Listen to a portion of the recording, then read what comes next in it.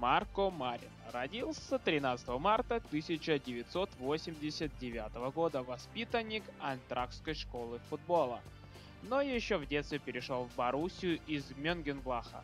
Сразу стал привлекаться к основному составу команды. Он был главным фактором возвращения в высшую лигу. Своей игрой привлек много внимания, а переманил его бременский Вердер в 2008 году мог поехать на Евро, попав в расширенный список, но был еще сыроват для основной сборной Германии, немец боснийского происхождения, которого сравнивают в Германии с такими выдающимися футболистами, как Томас Хеслер и Пьер Литербарский, а из современных звезд с аргентинцем Лионелем Месси. Играя на позиции левого вингера, Марин часто действует по всему фронту атаки. Вингер взрывной скоростью принесет в Челси как постоянное обострение игры, так и разрезающие передачи.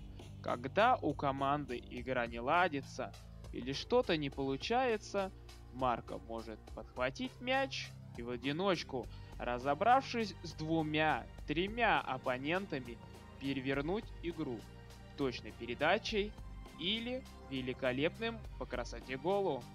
В Германии сейчас много талантов, а вот Мартин из первой плеяды классных, действительно классных игроков.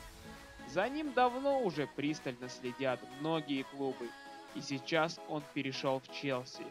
Теперь мы посмотрим, готов ли он уже сейчас на зеленом поле решать серьезные задачи.